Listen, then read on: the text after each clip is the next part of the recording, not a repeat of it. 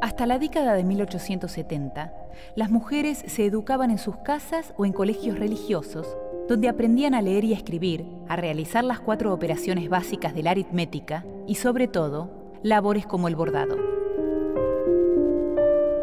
Fue por estos años que Domingo Faustino Sarmiento creó la primera escuela normal mixta, cuya directora fue Juana Manso, autora del primer manual de historia argentina.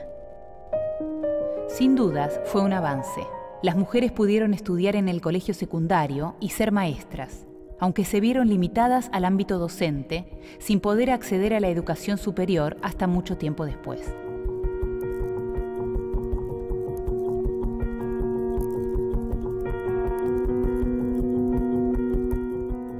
En las primeras décadas del siglo XX, para ingresar a la universidad las mujeres necesitaban una autorización especial otorgada por un varón, fuese el padre, el hermano o el marido.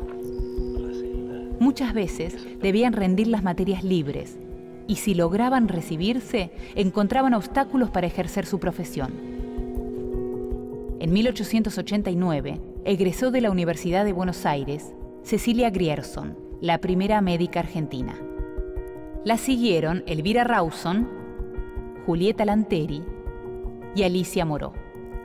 En 1902 se graduó Elvira López, la primera doctora en filosofía.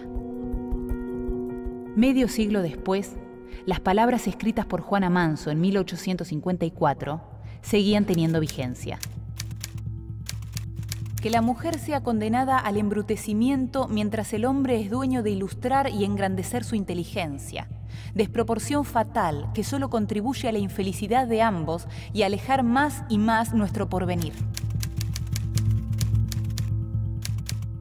Hubo que esperar hasta la segunda mitad del siglo XX para que las mujeres accedieran masivamente a las universidades.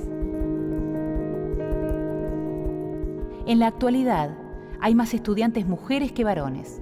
Sin embargo, siguen sin acceder proporcionalmente a los cargos jerárquicos.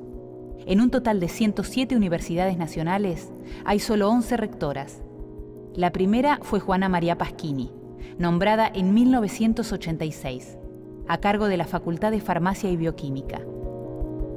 La falta de acceso igualitario a estos cargos muestra que sigue existiendo discriminación de género en los ámbitos académicos.